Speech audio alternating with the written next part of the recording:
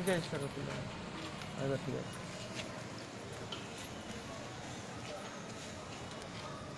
वंदे मातरम। वंदे मातरम। वंदे मातरम। वंदे मातरम। वंदे मातरम। वंदे मातरम। संसद का बाजू सत विश्राम